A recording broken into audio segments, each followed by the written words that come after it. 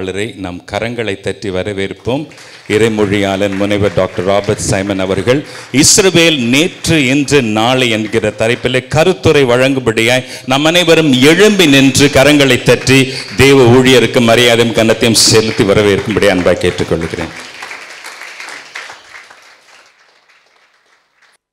Israel yesterday, today, tomorrow. Israel நேற்று இன்று நாளை. பிரியமல் எதற்காக இந்த வேத பாடம்?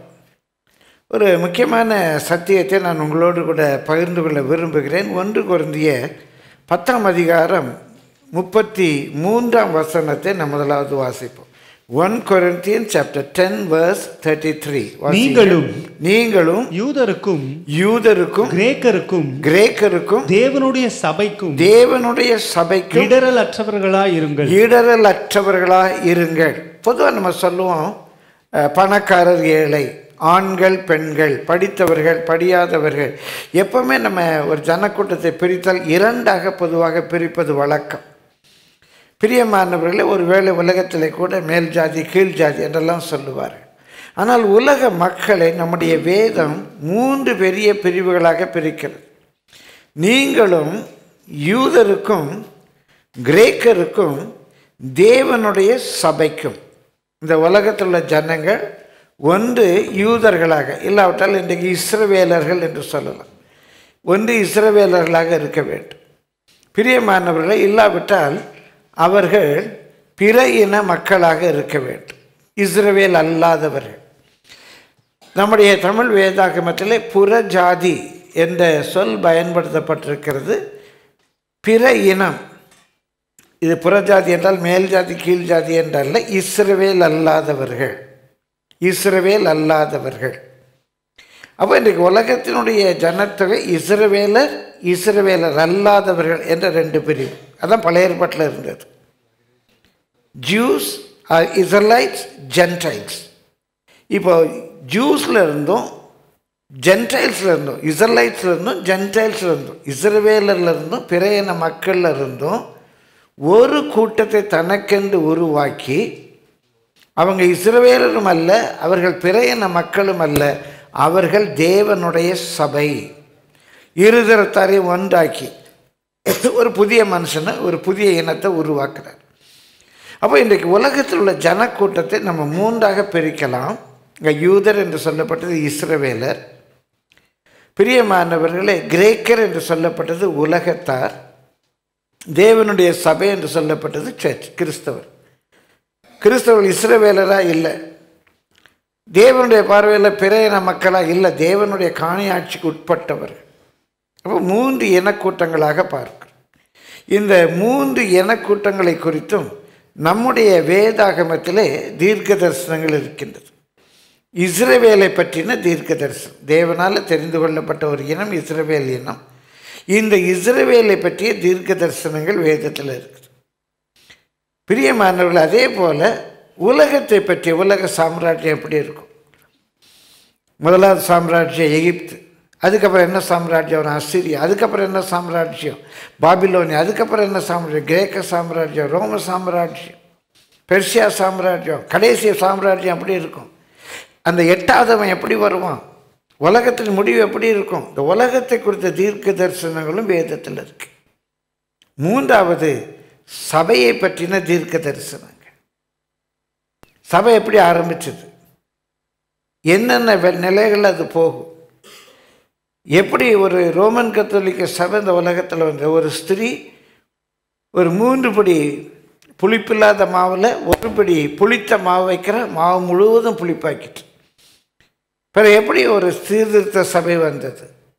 அதுலேருந்து எப்படி மிஷினரி சபை வந்தது? இப்போ எந்த சபை காலத்தில் நம்ம இருக்கிறோம்? சபையின் காலங்கள் வேதத்தில் வரையறுக்கப்பட்டிருக்கின்றன.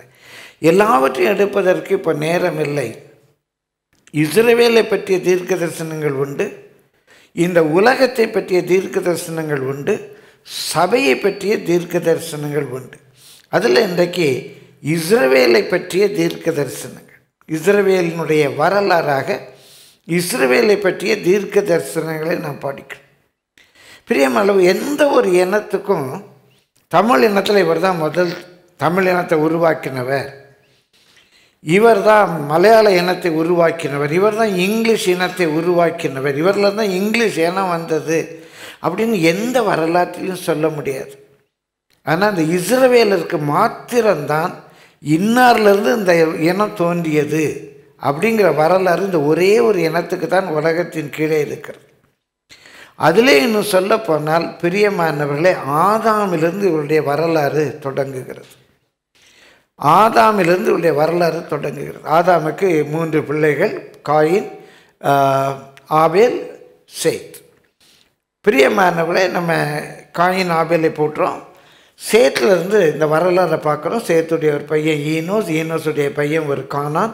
ம மகளியல் பிரியமானவர்களை ஜாரி அவங்க பிள்ளை கத் ஈனோக். இவன் தான் ஏழாவது. நீங்கள் பார்த்தீங்கன்னா ஆதாம்லேருந்து ஏழாவது ஏழாவது வம்சம். ஏழாம் தலைமுறையாக ஏனோ குறைத்தன் இருக்கு இல்லையா? அவர் தான் ஆதாமிலிருந்து ஏழாம் தலைமுறையாக ஏனோக் மெத்துசேலா லாமேக் லாமேக்குடைய பையன் நோவா. அவ்வளோ தூரம் வரலாறு எழுதப்பட்டிருக்கு. இந்த நோவா இந்த நோவாவுக்கு மூன்று இடம் எல்லாருக்கும் சந்தேகம் இங்கே வந்திருக்கிற ஊழியர்கள் கிறிஸ்தவர்கள். ரொம்ப அதை பற்றி விவரம் சொல்ல வேண்டாம். கனெக்ஷனுக்காக மட்டும்தான் சொல்கிறேன் இந்த நோவாவுக்கு மூன்று பிள்ளைகள் ஷேம் ஹாம் ஜேஃபத். யாபேத். நம்மெல்லாம் ஹாம் இனத்தை சேர்ந்தவர்கள் காமுடைய இனத்தை சேர்ந்தவர்கள் நம்ம. ஆனால் இன்றைக்கு இந்த இஸ்ரேலில் பார்க்கும்போது இவங்க ஷேம் இனத்தை சேர்ந்தவங்க. ஷேம் இனத்தை பற்றி கொஞ்சம் நம்ம பார்க்குறோம். அவனுக்கு பிள்ளைகள் பிறக்கிறாங்க பெரிய மாணவர்களே. இதில் எல்லா பிள்ளைகளுடைய பெயர்களும் நமக்கு ஒரு பரிட்சமாக இல்லாமல் இருக்கலாம். பேர்லாக பற்றி ஒரு சிலர் அறிந்திருப்பீங்க.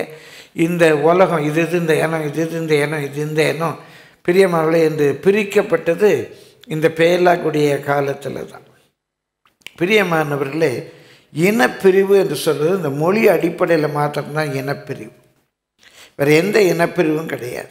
நான் பேசுகிற மொழியை புரிந்து கொள்ளுகிறவர்கள் என்னுடைய இனத்தைச் சேர்ந்தவர். இந்த இனப்பிரிவு பேலா காலத்திலிருந்து வந்திருக்குது என்று சிலர் சொல்லுகிறார். பிரியமால அடிக்கடி நான் சொல்லுவேன் என்னுடைய வாழ்வுரிமை இந்தியா. நான் நிறைய மதத்தை சொல்லியிருக்கிறேன். சில வேளைகள் அதை நான் ஊடகத்திலையும் போடுவது உண்டு. என்னுடைய வாழ்வுரிமை என்னுடைய சிட்டிசன்ஷிப் இந்தியா என்னுடைய வாழ்வியல் என்னுடைய கல்ச்சர் என்னுடைய வாழ்வியல் தமிழ். என்னுடைய வாழ்வு என்னுடைய ஜீவன் என்னுடைய வாழ்வு ஏசு கிறிஸ்து. இது யார் என்ன சொல்ல முடியும்? என்னுடைய citizenship India I mean Indian citizen ஆனால் என்னுடைய வாழ்க்கை முறை என்னுடைய வாழ்வியல் தமிழ். நான் தமிழ் பேசுகிறேன் தமிழ் பேசுகிறவங்களை நான் புரிந்து கொள்ளுகிறேன். எனக்கென்று ஒரு கலாச்சாரம் உண்டு எனக்கென்று ஒரு பாரம்பரியம் உண்டு. ஆனால் என்னுடைய வாழ்வு என்னுடைய உயிர் என்னுடைய ஜீவன் இயேசு கிறிஸ்து. அப்போ இனம் என்பது மொழி அடிப்படையில் தான். வேறு எந்த அடிப்படையிலையும் இனப்பிரிவுகள் கிடையாது. ஒரே தொழில் செய்கிறவர்கள் அந்த தொழிலை சேர்ந்தவர் பிறகு தொழில் அடிப்படையில் உள்ள பிரிவுகள் வந்தது அதில் ஏற்றத்தாழ்வு கிடையாது. பிரியமல்லம் எல்லாரும் தேவனுடைய ஒரே ரத்தத்தினால சிருஷ்டிக்கப்பட்டவர். இதில் ஜாதியை பார்க்க முடியாது. இப்போ மூணு டெஸ்ட் பிளேட்ஸில் மூணு பேருடைய ரத்தம் இருக்கு. இதில் எந்த ரத்தம் எந்த ஜாதி எந்த ரத்தம் எந்த மொழி பேசுகிறாங்க என்று யாருமே பிரித்து பார்க்க முடியாது. எல்லாரையும் தேவன் ஒரே ரசத்தினால சிருஷ்டித்த அப்படி அநாத தீர்மானத்தின்படி. நான் தமிழ்நாட்டில் பிறக்கணுங்கிறது காடுடைய இட்டர்னல் பிளான் நான் இந்த ஊரில் நானாக யோசித்தேன் நான் இந்த ஊரில் பிறக்கணும். தென் தமிழகத்தில் பிறக்கணும் நானாக பிளான் பண்ணேன். நான் இங்கிலாந்தில் வேலை பார்க்கணும் அமெரிக்காவில் வேலை பார்க்கணும் சென்னைக்கு வரணும் நான் பெங்களூர் போகணும் அப்படிலாம் நம்ம பிளான் பண்ணலாம். ஆனால் நீங்கள் பிறந்த இடம் ஒன்றாகல நீங்கள் பிளான் பண்ணதில்லை.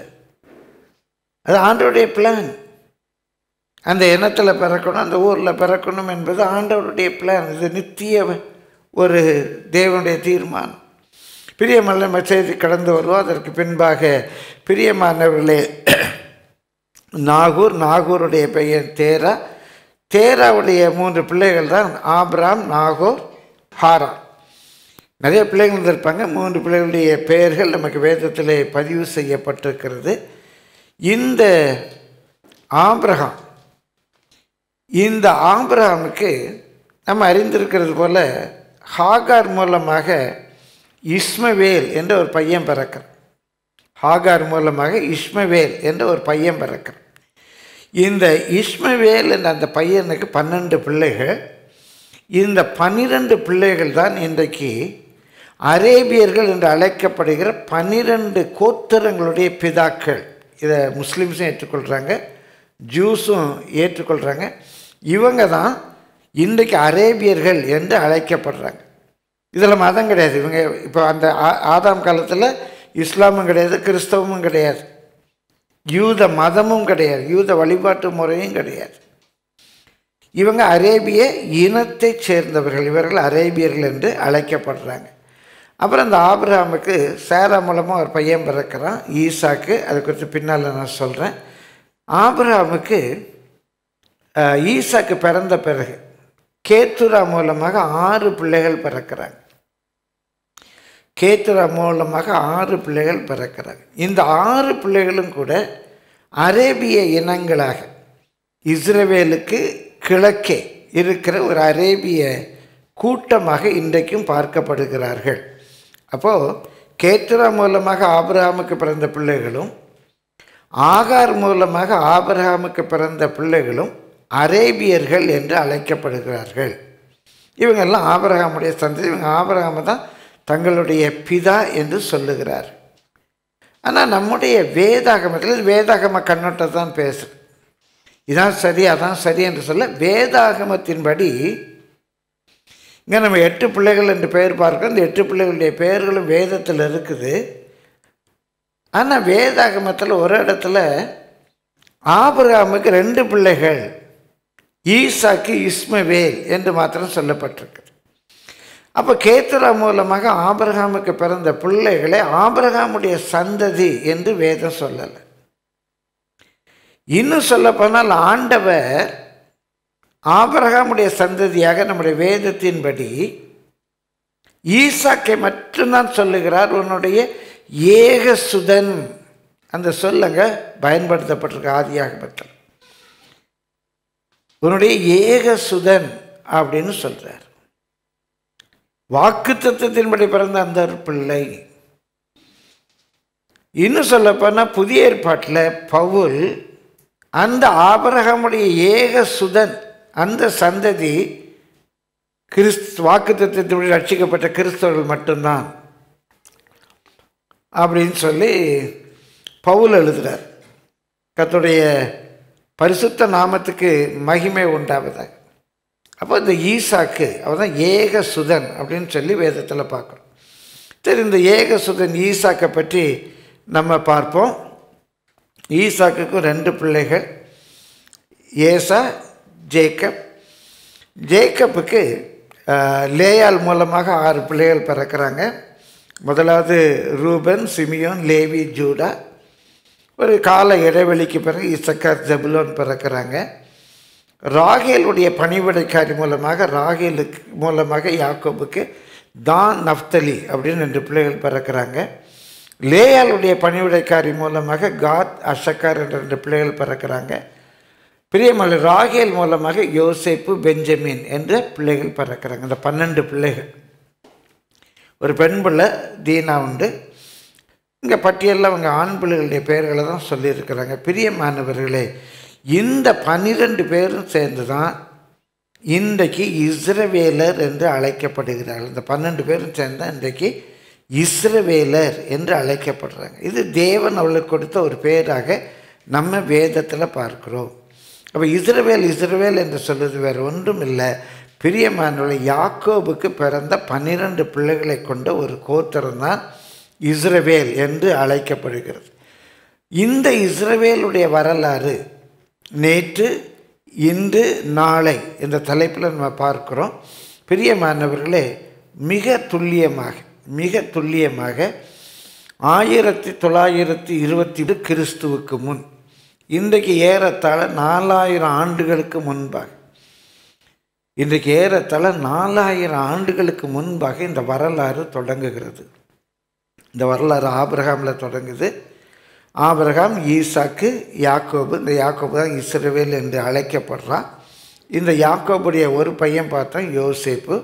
இந்த யோசேப்பு எகிப்துக்கு கொண்டு போகப்படுறான். எகிப்தில் கிட்டத்தட்ட இரநூற்றி இருபது ஆண்டுகள் அவங்க அங்கே அடிமைகளாக கஷ்டப்படுறாங்க. மோசையினுடைய நாட்கள் அவங்க விடுதலை பெற்று எகிப்திலிருந்து அவங்க வாக்குத்தத்தம் பண்ணப்பட்ட ஒரு தேசத்தை நோக்கி புறப்பட்டு வர்றாங்க. நாற்பத்தி ரெண்டு ஆண்டுகளாக நாற்பது ஆண்டுகள் அல்ல நாற்பத்தி ரெண்டு ஆண்டுகளாக வனாந்தரத்தில் சுற்றி திரிகிறார்கள். பிரியமானவர்களே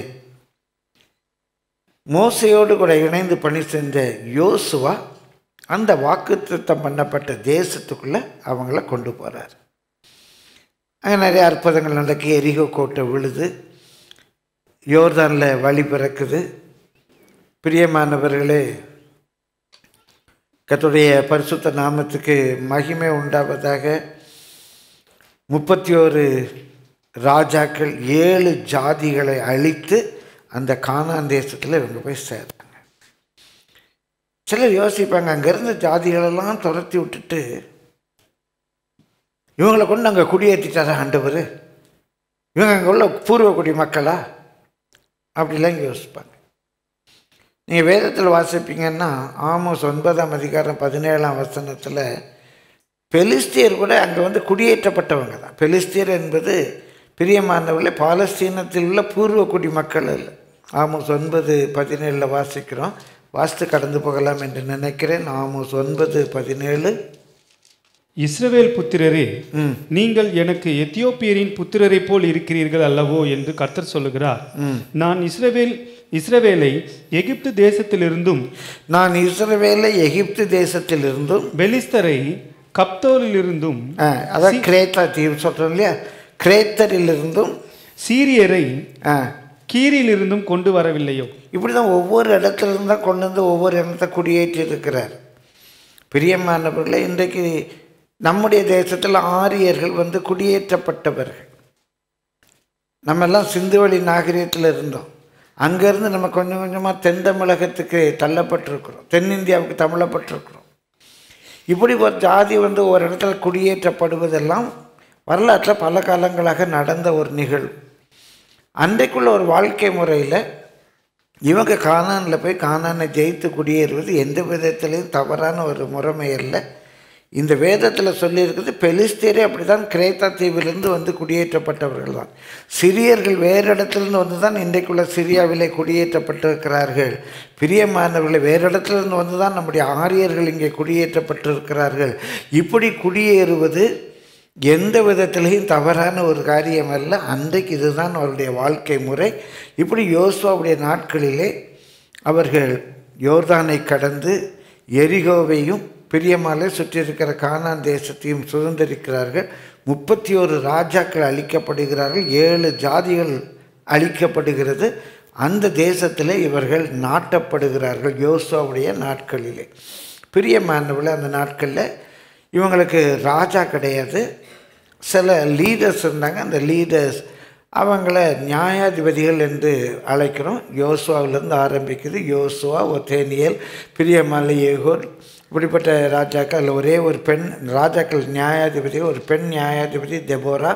பிரியமான விளக்கத்துடைய சில பெயர்கள் நமக்கு ரொம்ப பரிச்சயமானது. ஜெப் எப்தா போன்ற பெயர்கள்.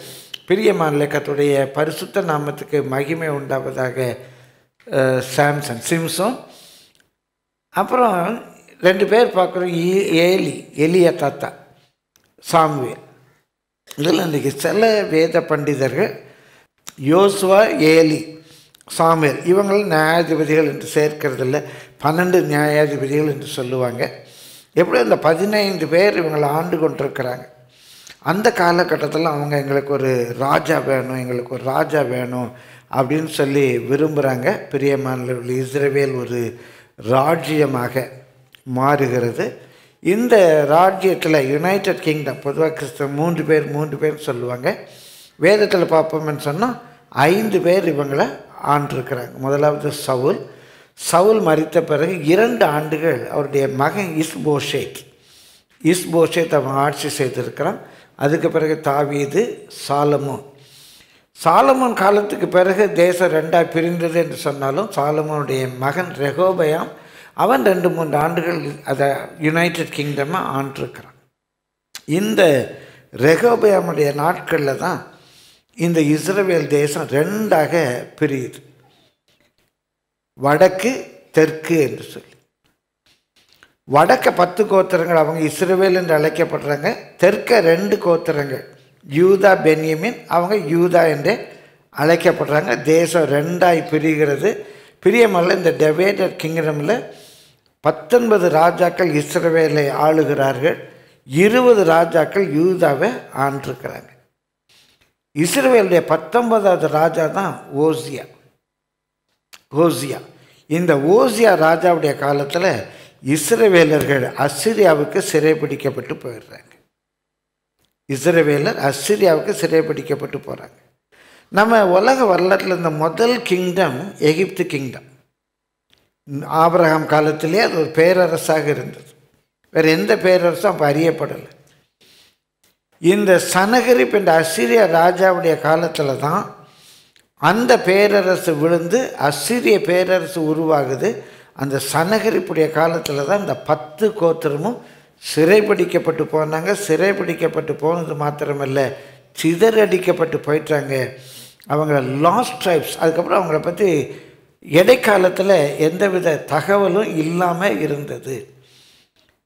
இதே காலகட்டத்தில் யூதா அங்கே தான் இருக்குது எருசலேம் தேவாலயம்லாம் இருக்குது பிரியமானவர்களே ஒரு சில ஆண்டுகளுக்குள்ளாக அசிரிய சாம்ராஜ்யம் விழுந்து நேபுகாத் நேசாருடைய நாட்களில் பாபிலோனிய சாம்ராஜ்யம் வருது. இந்த பாபிலோனிய சாம்ராஜ்யத்தில் யூதர்களும் சிறைப்பிடிக்கப்பட்டு போயிட்டாங்க. அந்த காலம்தான் நம்ம வேதத்தில் பார்க்குற தானியல் சாத்ராக் மேஷாக்கா பெத்னிகோ பிரியமானவர்களை தொடர்ந்து அந்த பாபிலோனிய சிறையிருப்பில் இருந்தவங்க தான் எசேக்கியல். இந்த சிறைப்பு நடக்க வந்த ஒரு தீர்க்கதரிசி தான் எரேமியா. இதெல்லாம் நம்ம வேதத்தில் பார்க்குறோம். இந்த பாபிலோனிய சிறையிருப்பிலிருந்து தீர்க்க தரிசனத்தின் நிறைவேறுதலாக சரியாக எழுபது ஆண்டு இதெல்லாம் நான் டீட்டெயிலாக போக நேரம் இல்லை. இது வேற ஒரு சப்ஜெக்ட் அப்படி டச் பண்ணி போயிட்டுருக்கேன். நீங்கள் குறிச்சிக்கோங்க. சரியாக எழுபது ஆண்டு. பிரியமானவர்களே அறநூற்றி ஆறில் சிறைப்பிடிக்கப்பட்டு போனாங்க. ஐநூற்றி முப்பத்தி ஆறு கோரேசுடைய ஆட்சி காலத்தில் இவங்கெல்லாம் திரும்ப இஸ்ரவேலுக்கு திரும்பி வர்றாங்க. எருசலேம் தேவாலயத்தை கட்ட வர்றாங்க. இதை குறித்து நம்ம வாசிப்போம். எரேமியா தீர்க்க தரிசனம் சொல்லப்பட்டபடி சரியா அந்த நாள். சரியா அந்த நாள். ஆனாலும் பாபிலோனிய ஆட்சி காலம்தான். இப்போ பாபிலோனிய ஆட்சி விழுந்துச்சு. மேதியா பெர்ஷியா ராஜா கோரேசுடைய ஆட்சி காலம். கோரேசுடைய ஆட்சி காலத்தில் இவங்க திரும்பி வராங்க. அந்த வசனத்தோட எனக்கு வசனத்தை விட்டுட்டு போகவும் முடியலை சொல்லவும் முடியலை. எதிராக ஒன் ஒன்றாம் அதிகாரம் ஒன்றாம் வசனம் வாசிங்க. எஸ்ரா ஒன்று ஒன்று. எரேமியாவின் வாயினாலே கர்த்தர் சொன்ன வார்த்தை நிறைவேறும்படி எரேமியாவின் வாயினாலே கர்த்தர் சொன்ன வார்த்தை நிறைவேறும்படிக்கு சரியாக எழுது வருஷம் ஒன்றே முன்னால் இல்லை ஒன்றே லேட்டாகவும் இல்லை. அதே பண்டிகை காலகட்டத்தில். எஸ் எரேமியாவினுடைய வாய் எரேமியா என்ன சொன்னார்? எழுபது ஆண்டுன்னு சொன்னார். எரேமியாவினுடைய வாயினாலே சொல்லப்பட்டது நிறைவேறும்படிக்கு பெர்சியாவின் ராஜாவாகிய கோரேசுடைய முதலாம் வருஷத்தில் பெர்ஷியாவின் ராஜாவாகிய கோரேசுடைய முதலாம் வருஷத்திலே கர்த்தர் பெர்சியாவின் ராஜாவாகிய கோரேசின் ஆவியை ஏவினதினாலே கர்த்தர் ஏவினதினாலே அவன் அவன் பரலோகத்தின் தேவனாகிய கர்த்தர். பூமியின் ராஜ்யங்களை எல்லாம் எனக்கு அவன் சொல்றான் போய் நீங்க உங்க தேவாலயத்தை கட்டிக்கோங்கப்பா அப்படின்னு திரும்ப அனுப்புகிறான் அப்போ தான் ஜெருபாபேல் அவங்க தலைமையில் வந்து அஹ், சகரியா பிரியமானவர்களே மல்கியா ஆகாய் அவங்கெல்லாம் அந்த காலத்தில் இருந்த தீர்க்க தரிசிக வந்து அங்கே சபையை க எருசலேம் தேவாலயத்தை கட்டுறாங்க. பிரியமானவர்களே கத்துடைய பரிசு. ஆனாலும் தொடர்ந்து மேதா பெர்ஷியா சாம்ராஜ்யத்தில் இருக்காங்க. அப்புறம் கிரேக்க சாம்ராஜ்யம் அலெக்சாண்டருடைய காலத்தில் வருது. பெர்ஷியா சாம்ராஜ்யம் அழிக்கப்பட்டு மாவீரன் அலெக்சாண்டர் காலத்தில் கிரேக்க சாம்ராஜ்யம் வருது. இந்த கிரேக்க சாம்ராஜ்யமும் பாம்பி என்ற ரோம பேரரசை கிரேக்க சாம்ராஜ்யத்துக்கு விரோதமாக போகிறான் ஜூலியஸ் சீசருடைய நாட்களில் கிரேக்க சாம்ராஜ்யம் அழிக்கப்படுது. பிரியமானவர்களே அகஸ்துராயன் நம்ம பைபிளில் படிக்கிறோம்ல அகஸ்துராயன் அந்த அகஸ்துராயனுடைய நாட்களில் ரோம சாம்ராஜ்யம் ஸ்தாபிக்கப்படுது. இந்த அகஸ்து ராயனுடைய காலத்தில் தான் பிரியமானவர்களை வரலாற்றில் குறிப்பாக கிறிஸ்துவுக்கு முன் நான்கு அதாவது வரலாற்றாற்றில் குறிக்கிறாங்க. இயேசு கிறிஸ்து இந்த உலகத்தில் பிறக்கிறாரு. தீர்க்க தரிசனத்தை நிறைவேறல. முன்னூறுக்கும் அதிகமான தீர்க்க தரிசனம். எங்கே பிறப்பார் எப்போ பிறப்பார் எப்படி பிறப்பார் எப்படி வளர்க்கப்படுவார் எகிப்துக்கு கொண்டு போகப்படுவார் நாசிரியத்தில் வளர்க்கப்படுவார் செபுலோன் கடற்கரையில் ஊழியத்தை ஆரம்பிப்பார் என்றெல்லாம் என்னென்ன அவரை பற்றி சொல்லியிருந்ததோ பிரியமலை அந்த தீர்க்க தரிசனங்கள்லாம் இயேசு கிருஷ்ணனுடைய வாழ்க்கையில் நிறைவேற ஆரம்பிக்குது. கத்துடைய பரிசுத்த நாமத்துக்கு மகிமை உண்டாவதாக. இந்த இயேசு கிறிஸ்து மூன்று ஆண்டுகள் ஊழியம் செய்கிறாரு கிமு கிபி முப்பது கிட்ட வந்துருச்சு இப்போ. முப்பத்தி மூன்று வயசு முப்பத்தி ரெண்டரை வயசு அவருக்கு. முப்பத்தி ரெண்டு முப்பத்தி மூணுக்கு குறை. அவர் ரெண்டரை வருஷம் தான் ஊழியம் செஞ்சுருக்கார். பிரியமானவர்களே ஒரு கடைசி காலகட்டத்தில் அவங்க பண்டிகைக்கு பண்டிகைக்கு எருசலேமுக்கு போவாங்க. அவர் மூன்று பஸ்கா பண்டிகை போயிருக்காரு. அது வச்சு மூன்று ஆண்டுகள். மூன்று பண்டிகை என்று சொல்லி ரெண்டு ஆண்டுகள் ப்ளஸ் பிரியமானில் அப்படி பஸ்கா பண்டிகை போனால் அப்படி நான் இந்த பில்டிங்கெல்லாம் பார்க்குறாங்க. ஏரோது ராஜா அந்த டெம்பிளை எடுப்பித்து கட்டியிருக்கிறான். அதெல்லாம் பார்க்க ரொம்ப அழகாக இருக்குது. சுற்றி சுற்றி காட்டுறாங்க. எவ்வளோ அழகாக இருக்குது பார்த்தீங்களா இவரும் பார்த்து பார்க்குறாங்க என்ன அழகாக இருக்குது அப்படின்னு எல்லாம் பார்த்துட்ருக்காங்க அப்படியே பார்த்துட்டு அப்படியே ஒரு ரெஸ்ட் எடுக்கிறார் கல்லில் போய் உட்கார்றார். சீசர்லாம் கூட வர்றாங்க. இவர் இதெல்லாம் சுற்றி காட்டும்போது ஏசு ஒரு டயலாக் அடிச்சார். ஏசு சொன்னார் இதெல்லாம் பார்க்குறீங்க. இதெல்லாம் ஒரு கல் மேலே ஒரு கல் இல்லாமல் இடிக்கப்படும் காலம் வரும்னார். யாருக்காவது ஏற்றுக்க முடியுமா? நீங்கள் நல்ல ஒரு பிரார்த்தனை அரங்கம் கட்டியிருக்கீங்க ஜப வீடு கட்டியிருக்கீங்க. இப்போல்லாம் அது வந்து சித்தாலயம் பேராலயம் ஆலய பிரதிஷ்டெல்லாம் சொல்கிறாங்க பைபிளில் ஏசு சொன்னது ஆலயத்தை இடிச்சு போடுங்கன்னு சொன்னார். நம்ம இப்போ ஆலயம் கட்டிக்கிட்டு இருக்கோம். வேதத்தின்படி நம்முடைய சரீரம் தான் ஆலயம். இருக்கட்டும் ஒரு பக்கம். நல்ல ஒரு பில்டிங் போட்டிருக்கீங்க. யாரோ ஒருத்தர் வந்திருக்காங்க அதை சுற்றி காட்டுறாங்க. எப்படி பார்த்தீங்கன்னா இப்படி ஆல்ட்ரு வச்சுருக்கோம் இப்படி ஸ்டேஜ் போட்டிருக்கோம் இப்படிலாம் ஏசி போட்டிருக்கோம் இப்படி வச்சுருக்கோம். எல்லாம் பிஎஸ் சிஸ்டம் பிஎஸ் சிஸ்டம் மட்டுமே பத்து லட்சம் ஆச்சுன்னு காட்டுறீங்க. எல்லாத்தையும் அப்படி சுற்றி பார்த்துட்டு இதெல்லாம் ஒரு கல்லில் ஒரு கல் இல்லாமல் இடிஞ்சு போகும்ப்பா. அப்படின்னு ஒருத்தன் வந்து சொன்னானே ஏற்றுக்குவோமா ம்? அவர் போய் நல்ல பில்டிங்கை காட்டுறாங்க. ஏசோ டைலாக் அடிக்கிறாரு. இதெல்லாம் ஒரு கல் மேலே ஒரு கல் இல்லாமல் இடிந்து போகும். காலம் வரும்னாரு. சொன்னவங்க இடிஞ்சு போயிட்டாங்க. அந்த மாதிரி காட்டும்போது இவர் இப்படி சொல்கிறாரு அப்படியே போய் ஒரு ஏசு இது ஒரு கல்லில் உட்கார்றாரு போய் சுற்றி உட்காடுறாங்க உட்கார்ந்த போது ஏசுகிட்ட கேட்குறாங்க ஏசு இப்படி சொன்னீர் இது எப்போ சம்பவிக்கும்? எலிவ மலையில் ஒரு இடத்துல உட்கார்ந்தபோது இயேசுவை பார்த்து கேட்டாங்க இவைகள் எப்பொழுது சம்பவிக்கும்? எரிசலையும் இடிக்கப்படும் தேவாலயம் இடிக்கப்படும்லாம் சொன்னீர. முதல் கேள்வி இவைகள் எப்பொழுது சம்பவிக்கும்? அது ரெண்டாவது கேள்வி நான் திரும்ப வருவேன் திரும்ப வருவேன். ஏசு திரும்ப வருவேங்கிறத தேவதூதர்கள் முதலாவது சொல்லலை அப்போஸ்தலர்கள் சொல்லலை இன்றைக்கு வருகிற பிரசங்கிமார் சொல்லலை நான் திரும்ப வருவேன் என்ற தீர்க்க தரிசனத்தை முதல் முதலாக சொன்னது இயேசு கிறிஸ்து தான். நான் பிதாவிடத்துக்கு போகிறேன் நான் திரும்ப வருவேன். உங்கள் இருதயம் கலங்காது இருப்பதாக அப்படின்னு கொஞ்ச நேரத்துக்கு முன்னால் அந்த மேலறையில் வச்சு சொல்லியிருக்கார். அடிக்கடி அவங்கள்ட்ட சொல்கிறார் திரும்ப வருவேன் திரும்ப வருவேங்கிறீர உம்முடைய வருகைக்கு அடையாளம் என்ன? மூன்றாவது யூதர்களும் நம்புகிறாங்க அறிவியலும் நம்புகிறோம் ஒன்று தோன்றி இருக்கும் அதற்கு முடிவு உண்டு. ஒன்று தோன்றி இருக்குமேயானால் அதற்கு முடிவு உண்டு. இந்த உலகம் தோன்றி இருக்குமேயானால் இந்த உலகம் கண்டிப்பாக முடிவடையும். ஒருவன் பிறந்தான் ஆனால் இறக்க வேண்டும். அப்போ யூதர்கள் நம்புகிறாங்க அறிவியல் நம்புது. இந்த உலகம் எப்படியாவது முடிவடையும். இப்படியே இருக்க முடியாது. உலகம் முடிவடையணும். இதற்கு ஒரு தோற்றம் என்று ஒன்று இருக்குமானால் இதற்கென்று ஒரு முடிவு வேணும். மூணு கேள்வி கேட்குறாங்க. உங்களுடைய வருகைக்கான அடையாளம் என்ன? உலகத்தின் முடிவுக்கான அடையாளம் என்ன? இந்த எருசலேமெல்லாம் இடிக்கப்படும்லாம் சொன்னீர. அதற்கான அடையாளம் என்ன? என்று அடையாளங்களை ஏசிட்ட கேட்குறாங்க. பிரியமானவர்களே கத்துடைய பரிசுத்த நாமத்துக்கு மகிமை உண்டாவதாக. குறித்து கொள்ளுங்க மற்ற இருபத்தி நான்காம் அதிகாரம். லூக்கா இருபத்தி ஓராம் அதிகாரம் எல்லாம் இந்த மூன்று கேள்விகளுக்கான பதில். இந்த மூன்று கேள்விகளுக்கான பதில். இதில் முதல் கேள்வி இவைகள் எப்பொழுது சம்பவிக்கிறது இந்த தேவாலயம் எப்போ இடிக்கப்படும்? இந்த இரு எருசலேம் எப்பொழுது அழிக்கப்படும்? இந்த கேள்விக்கான பதில் கத்துடைய பரிசுத்த நாமத்துக்கு மகிமை உண்டாவது இந்த இயேசு ஒரு சில நாட்களுக்குள்ளாக அந்த இயேசுவை அவர் சொன்னபடியே சிலுவையில் அறைந்து கொல்லுகிறார். ஏடி முப்பது. ஆதாமிலிருந்து ஏடி முப்பதுக்கு வந்துட்டோம். தீர்க்க தரிசனத்தை நிறைவேறுதலாக. அதை பின்னால் நான் உங்களுக்கு சொல்லுவேன் அடுத்த செஷனில் சரியாக சொல்லப்பட்ட நாளில் எந்த பஸ்கா பண்டிகையில் மேசியாக கொல்லப்பட வேண்டுமோ மேசியா அடிக்கப்பட வேண்டுமோ அதே பஸ்கா பண்டிகையில் மேசியா அடிக்கப்படுகிறார். சரியாக அந்த நாள் அதை பின்னால் உங்களுக்கு சொல்கிறேன் எப்படி அந்த நாளில் அவர் அடிக்கப்பட்டார் சொல்லி மேசியா அடிக்கப்படுகிறார். கர்த்தருடைய பரிசுத்த நாமத்துக்கு மகிமை உண்டாகுது ஏசு என்ன சொன்னார்?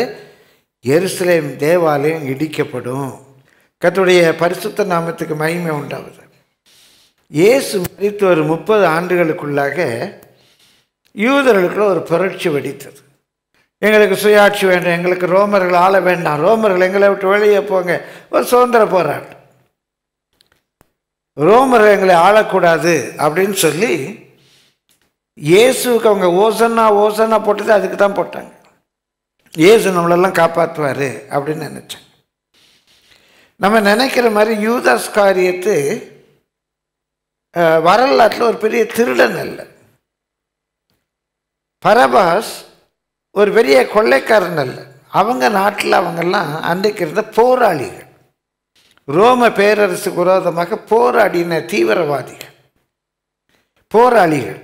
அதனால் அவங்க ரோமர்களை கொள்ளையடித்திருக்காங்க. ஆயர்காரர்களை கொள்ளையடித்தாங்க.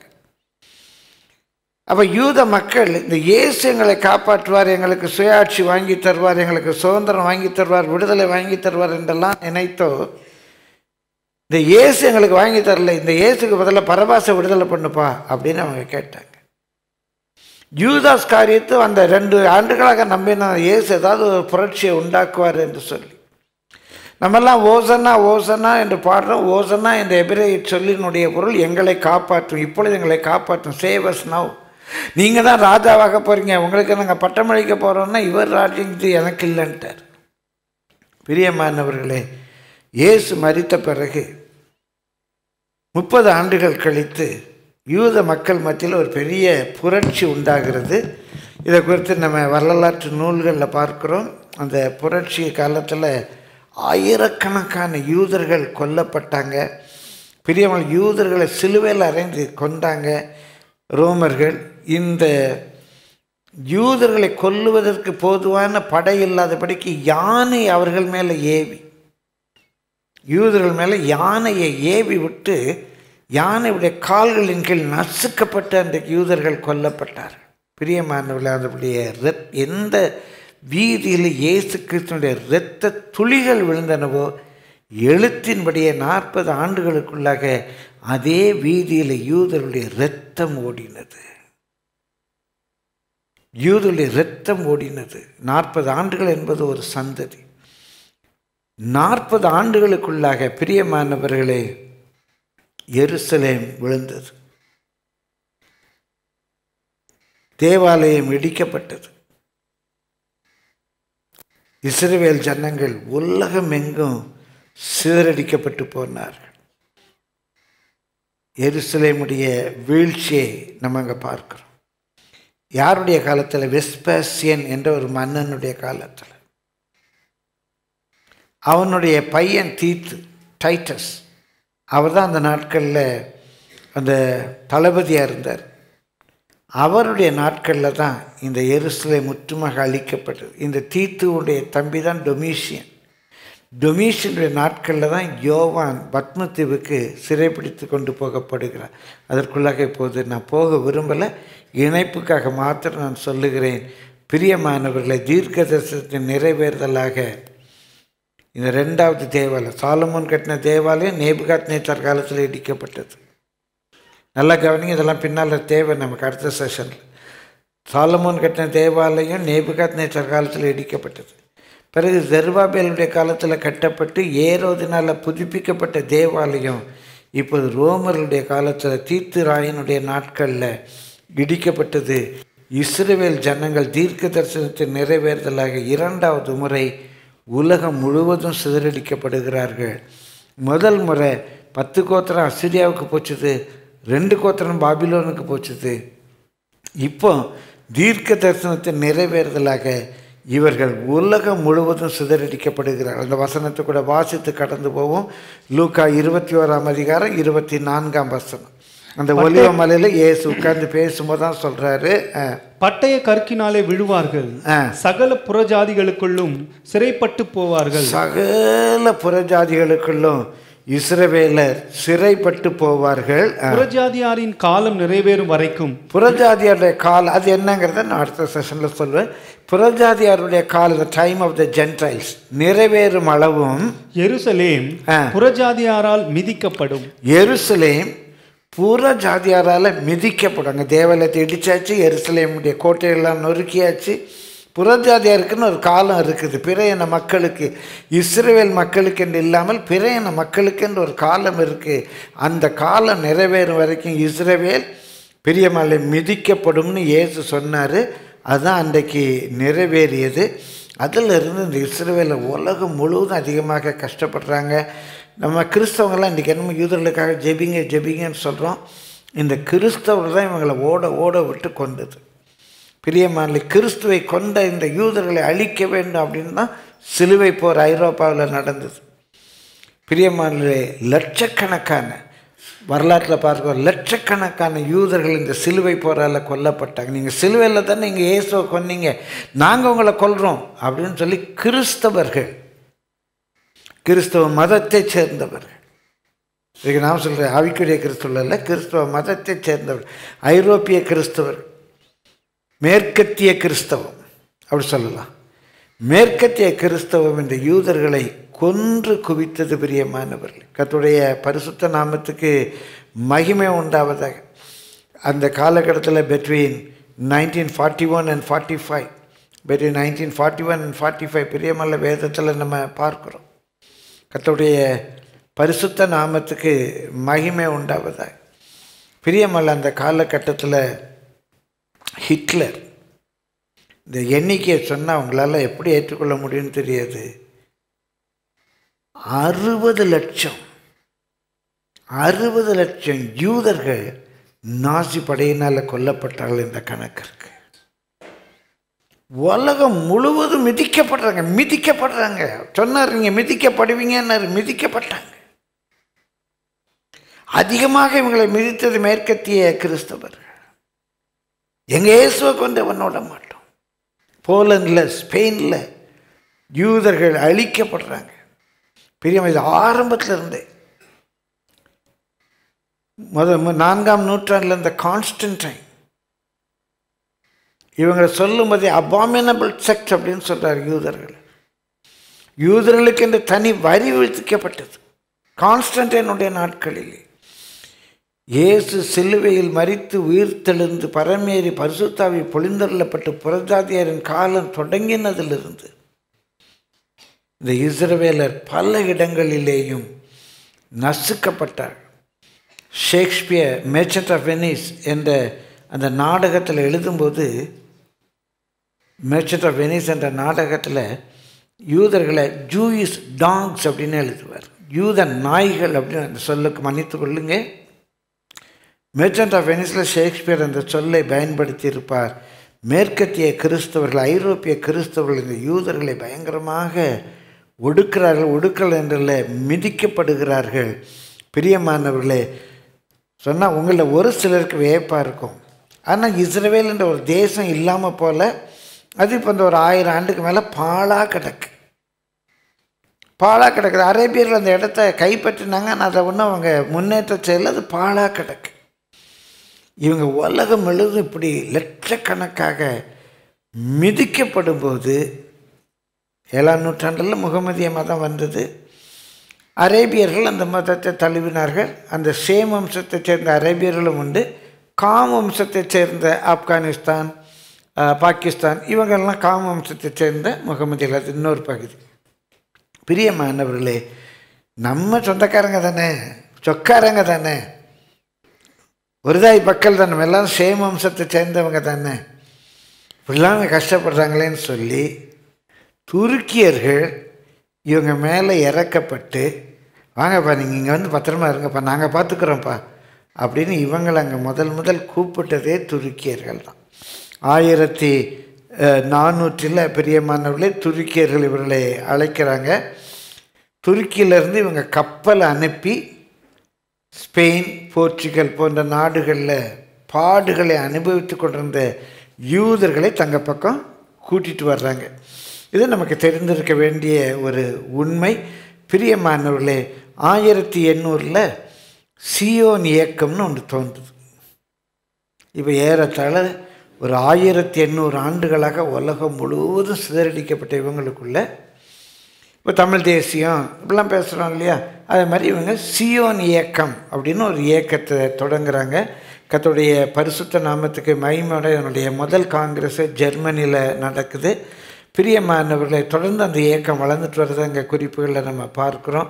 பிரியம் கத்துடைய பரிசுத்த நாமத்துக்கு மகிமை உண்டாவதாக இந்த காலகட்டத்தில் ரஷ்யாலாம் இப்படி நீங்கள் ஹோம்லேண்ட் இல்லாமல் கஷ்டப்படுறீங்க இவங்க இப்போ ரஷ்யாவில் அமெரிக்காவிலலாம் அந்த இராணுவ தொழில்நுட்ப காரியங்கள் இன்னும் முக்கியமான ஸ்ட்ராட்டஜிஸ்லாம் இவங்க சேர்ந்து வேலை செய்கிறாங்க ஸ்போர்ட்ஸில் நிறைய மெடல் பெற்றவங்களும் பல தேசங்களுக்காக மெடல் வாங்கி கொடுத்தவங்களும் யூதர்கள் தான்.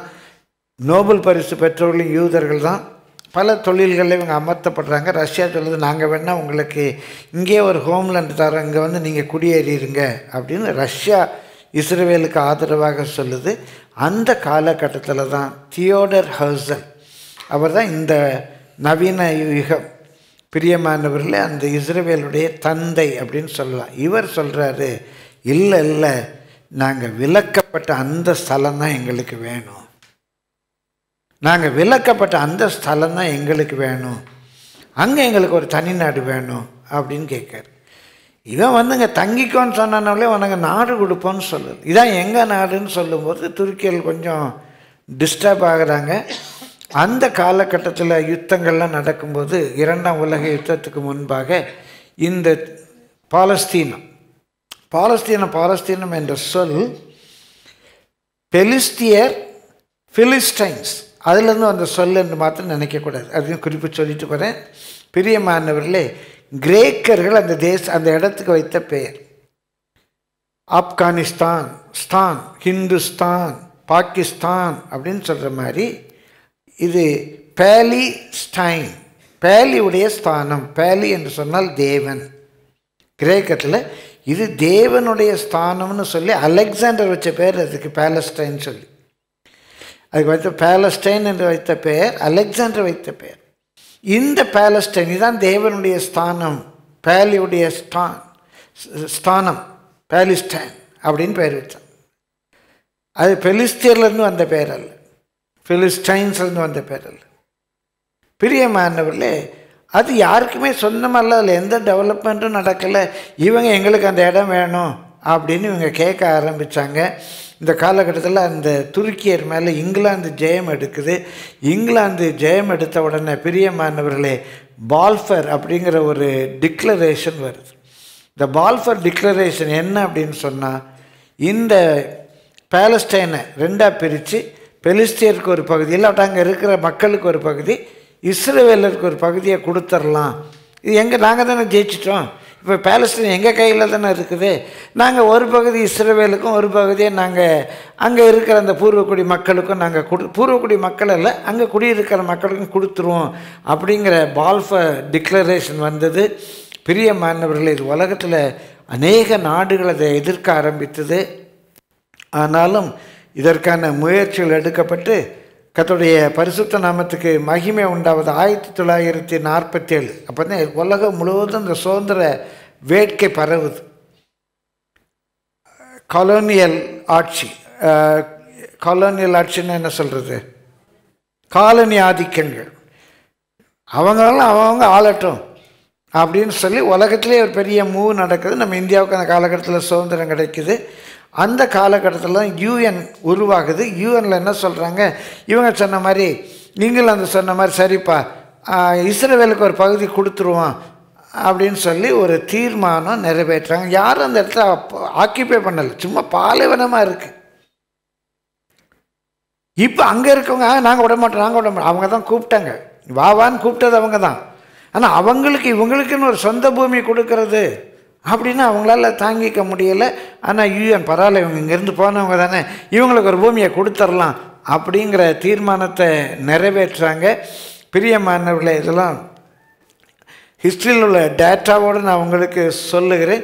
இந்த காலகட்டத்தில் இஸ்ரேல் ஆயிரத்தி தொள்ளாயிரத்தி நாற்பத்தி எட்டாம் ஆண்டு மே மாதம் பதினான்காம் தேதி நாங்கள் இண்டிபெண்ட் நேஷன்டா அப்படின்னு அறிவிச்சிட்டாங்க. யூஎன் டிக்ளரேஷன் வந்திருக்குது. ஒரு சில மாதங்கள் ஆகுது. அந்த ப்ராசஸில் இருக்கும்போது இவங்க நாங்கள் தான். எங்களுக்கு இண்டிபெண்ட் நேஷன் அப்படின்னு டிக்ளேர் பண்ணிட்டாங்க. டிக்ளேர் பண்ண இது தீர்க்க தரிசனத்தின் நிறைவேறுதலாக இருந்தது. சில வசனங்களை வாசித்து கடந்து போவோம். வாசியுங்கள். பெரியமலை ஓசியா பதி ஒன்றாம் அதிகாரம் பதினோராம் ரொம்ப ரொம்ப முக்கியமான வசனம். ஓசியா ஒன்று பதினொன்று ஓசியா ஒன் லெவன் இப்பொழுது யூதா புத்திரரும் இஸ்ரவேல் புத்திரரும் ஏகமாய் கூட்டப்பட்டு பிரியமானவர்களே ரெகோபயம் காலத்தில் பிரிந்தாங்கன்னு சொன்னேன். எப்போ பிரிந்தாங்க? தொள்ளாயிரத்தி முப்பத்தி ஏழு கிறிஸ்துவுக்கு முன். இப்போ எவ்வளோ நாள் ஆச்சு? ஒரு ஆயிரத்தி நான் ஆயிரத்தி தொள்ளாயிரம் வருஷம். அது ஒருத்தர் ரெண்டாயிரம் வருஷம் கிட்ட ஆக போகுது. ஆமாம் ஆயிரத்தி எண்ணூறு வருஷத்துக்கு மேலே ஆச்சு. ரெண்டு பேரும் சேரவே இல்லை. பத்து பேர் என்ன ஆனாங்கன்னு தெரியல. ஆனால் ஓசியா ஒரு தீர்க்க தரிசனம் சொல்கிறான் வாசிங்க அப்பொழுது யூதா புத்திரரும் யூதா புத்திரரும் இஸ்ரவேல் புத்திரரும் இஸ்ரவேல் புத்திரரும் ஏகமாய் கூட்டப்பட்டு ஏகமாய் கூட்டப்பட்டு. பிரியமானவர்களே எப்போ ஓசியா சொன்னா இன்றைக்கு கிட்டத்தட்ட ரெண்டாயிரத்தி அறநூறு ஆண்டுகளுக்கு முன்பாக ஓசியா சொல்றான். ரெண்டாயிரத்தி அறநூறு ஆண்டுகளுக்கு முன்பாக ஓசியா சொல்றான் இவங்க ரெண்டு பேரும் ஏகமாய் கூட்டப்பட்டு தங்களுக்கு. ஒரே அதிபதியை ஏற்படுத்தி இது ரெண்டு பேருக்கு ஒரே ஒரு அதிபதி ரெண்டு ராஜா இல்ல ஒரே ஒரு அதிபதி ஏற்படுத்தி தேசத்தில் இருந்து. புறப்பட்டு வருவார்கள். இவர்கள் புறப்பட்டு வருவார்கள். பல தேசங்களிலிருந்து புறப்பட்டு வருவார்கள். இஸ்ரேலின் நாள் பெரிதா இருக்கும். இஸ்ரேல் என்பது அவருக்குரிய ஒரு பட்ட பெயர் இஸ்ரவேலுக்குரிய பட்ட பெயர். இஸ்ரவேலினால் பெரிதாக இருக்கும் என்று சொன்னான் ஓசியா காலத்தில் தீர்க்க தரிசனம் ஆயிரத்தி தொள்ளாயிரத்தி நாற்பத்தெட்டு மே மாதம் பதினான்காம் தேதி இஸ்ரவேலில் அது வரலாறு. It was a prophecy in the days of Hosea it became a news in the days of Israel பிரியமான கத்துடைய பரிசு ஒரு இடமா இருக்கு. வாசிங்க எசேக்கியல் முப்பத்தி ஏழு இருபத்தி ரெண்டு எசேக்கியல் முப்பத்தி ஏழு இருபத்தி ரெண்டு அவர்கள் இஸ்ரே இஸ்ரவேலின் மலைகளாகிய தேசத்திலே ஒரே ஜாதியாக்குவேன். அவர்களை இஸ்ரவேலின் மலைகளாகிய தேசத்தில் அவங்க ரெண்டு பேரையும் ஒரே ஜாதி ஆக்குவேன் ஒரே ராஜா அவர்கள் எல்லோருக்கும் ராஜாவாக இருப்பார். ஒரே ராஜா அவர்கள் எல்லாருக்கும் ராஜாவாக இருப்பார். அவர்கள் இனி இரண்டு ஜாதிகளாக இருப்பதில்லை. அவங்க இனி இஸ்ரவேல் யூதா தெற்கு வடக்கு என்று ரெண்டு ஜாதிகளாக இருப்பதில்லை. அவர்கள் இனி இரண்டு ராஜ்யங்களாக பிரிவதும் இல்லை. அவர்கள் இனி ரெண்டு ராஜ்யங்களாக பிரிவதும் இல்லை அவர்கள் இனி தங்கள் நரகலான விக்கிரகங்களினாலும். தங்கள் அருவறுப்பு அருவறுப்புகளினாலும் தங்களுடைய சகல மீறுதல்களினாலும் தங்களை தீட்டுப்படுத்துவதும் இல்லை இனி அவங்க பேக் ஸ்லைட் ஆக போகிறதும் இல்லை இனி அவங்க விக்கிரகங்களை ஆராதிக்க போகிறதில்ல மனேசா காலத்தில் ஆராதித்தது போல இஸ்ரேவேலில் யூதாவில் இருந்த சில தவறான ராஜாக்களுடைய காலத்தில் அவங்க பாபிலோனிய முறைகளை பின்பற்றினது போல இனி அவங்க பின்பற்ற போவதும் இல்லை. அவங்க ஒரு மதத்துக்குரிய த இனமாக இருப்பார்கள் என்று சொல்லியிருக்கு. ஒரே ஒரு வேத பகுதியை வாசித்து இந்த பகுதியை நான் அந்த செஷனை நிறைவு செய்ய விரும்புகிறேன். ஏசாயா பதினோராம் அதிகாரத்தில் ஒரு ஐந்து வசனங்கள் மிக மிக முக்கியமான வசனங்கள் எடுத்துக்கொள்ளுங்க. காலத்திலே ஜனங்களுக்கு கொடியாக நிற்கும் ஈசாயின் வேருக்காக ஜாதிகள் விசாரித்து கேட்பார்கள். அவருடைய தாபர ஸ்தலம் மகிமையாயிருக்கும் அக்காலத்திலே ஆண்டவர் அசீரியாவிலும் எகிப்திலும் பத்ரோஸிலும் எத்தியோப்பியாவிலும் பெர்சியாவிலும் சினேயாரிலும் ஆமாத்திலும் சமுத்திர தீவுகளிலும் தம்முடைய ஜனத்தில் மீதியானவர்களை மீட்டுக்கொள்ள திரும்ப இரண்டாம் விசை தமது கரத்தை நீட்டி. நல்ல கவனியன். எல்லாம் சொல்லணும்னு ஆசையாக இருக்கு. எதை சொல்ல இதை விடன்னு தெரியல. பிரியமானவர்களே ஏசாயா இந்த தீர்க்கதர்சனம் சொல்லும்போது அறுநூற்றி முப்பத்தி ஏழில் இவங்க சிறைப்பட்டே போகலை. அசையாவுக்கும் சிறைப்பட்டு போகலை பாபிலோனுக்கும் சிறைப்பட்டு போகலை. அவங்க ஊர்லேயே தான் இருக்கிறாங்க. ஆனால் இவர் என்ன சொல்கிறாரு அசிரியா சிறையிருப்பில் பாபிலோனிய சிறையிருப்பில் உலகத்தின் பல ஜாதிகளுடைய பேரை சொல்லி நீ அங்கெல்லாம் சிறைப்பட்டு போவீங்க. அங்கெல்லாம் இருந்த ஆண்டவர் உங்களை மீட்பார். ஆ. இரண்டாம் விசை தமது கரத்தை நீட்டி அப்போ முதலாவது ஒரு விஷயம் என்ன செய்யறாரு? பாபிலோன்லேருந்து திரும்ப கொண்டு வர்றாரு. இரண்டாம் விஷயத்தினுடைய கரத்தை நீட்டி ஜாதிகளுக்கு ஒரு கொடியை ஏற்றி ஜாதிகளுக்கு ஒரு கொடியை ஏற்றி பிற ஜாதிகள் ரட்சிக்கப்படும்படியாக இயேசு கிறிஸ்து என்ற ஒரு கொடியை ஏற்றி. இஸ்ரவேலில் துரத்துண்டவர்களை சேர்த்து அதுக்கப்புறம் இஸ்ரவேலில் துரத்துண்டவர்களை சேர்த்து யூதாவில் சிதறி சிதறடிக்கப்பட்டவர்களை பூமியின் நான்கு திசைகளிலும் இருந்து கூட்டுவார். மூமின் பாபிலோன்லேருந்து அசிரியாவிலேருந்து இல்லை இந்தியாவிலிருந்து ரஷ்யாவிலிருந்து அமெரிக்காவிலிருந்து எகிப்திலிருந்து பூமியை நான்கு திசைகளிலிருந்து கூட்டுவார். எப்ராயின் பொறாமை நீங்கும். இவ எப்ராஹிம் யூதா சண்டை போட்டுட்டு இருந்தாங்க இல்லையா? இந்த எப்ராஹிமினுடைய பொறாமை நீங்கும். யூதாவின் சத்துருக்கள் சங்கரிக்கப்படுவார்கள். யூதாவினுடைய சத்துருக்கள் சங்கரிக்கப்படுவார்கள். எப்ராயிம் யூதாவின் மேல் பொறாமையாயிரான். யூதா எ- எப்ராயிமரை துன்பப்படுத்தான். அவர்கள் இருவரும் ஏகமாய் கூடி நல்லா கவனிங்க. இந்த எப்ராஹிம் எப்ராஹிம் என்றால் இஸ்ரவேல். இஸ்ரவேலும் யூதாவும் ஏகமாய் கூடி அவர்கள் இருவரும் அவர்கள் இருவரும் எப்ராஹிம் இஸ்ரவேல் அஹ், இந்த ரெண்டு பேரும் சேர்ந்து ஏகமாய் கூடி மேற்கே இருக்கிற பெலிஸ்தருடைய எல்லைகளின் மேல் இவங்களுக்கு வெஸ்ட்ல வெஸ்ட்ல வெஸ்ட்ல. எப்போ ஏசாயா சொல்றான்? இந்திய கணக்கு கிட்டத்தட்ட ரெண்டாயிரத்தி எழுநூறு ஆண்டுகளுக்கு முன்பாக சொல்றான். மீண்டும் சொல்ல இன்றைக்கு ரெண்டாயிரத்தி எழுநூறு ஆண்டுகளுக்கு முன்பாக சொல்றான் இவங்க ரெண்டு பேரும் ஒன்றாக கூடி இவங்களுக்கு மேற்கே இருக்கிற பெலிஸ்தருடைய எல்லைகளின் மேல் பாய்ந்து. ஜோமனோமா இவங்க ரெண்டு பேரும் ஏகமாய் கூடி மேற்கே இருக்கிற பெலிஸ்தியருடைய எல்லையின் மேல் பாய்வார்கள். ஆயிரத்தி தொள்ளாயிரத்தி நாற்பத்தெட்டாம் ஆண்டு மே மாதம் பதினான்காம் தேதி இந்த தீர்க்க தரிசனத்தினுடைய தொடக்க புள்ளி தொடங்கியது. அடுத்து என்ன நடக்க ஆரம்பிச்சது? தொடர்வோம். இஸ்ரவேல் நேற்று என்ற நாளை இக்கருத்தரங்கின் முதல் பாகத்தை நீங்கள் இதுவரையில் கண்டீர்கள். இதன் இரண்டாம் மற்றும் மூன்றாம் பாகத்தின் யூடியூப் லிங்க் டிஸ்கிரிப்ஷன் பக்கத்திலே கொடுக்கப்பட்டுள்ளது. அதனையும் கண்டு பயனடையுங்கள்.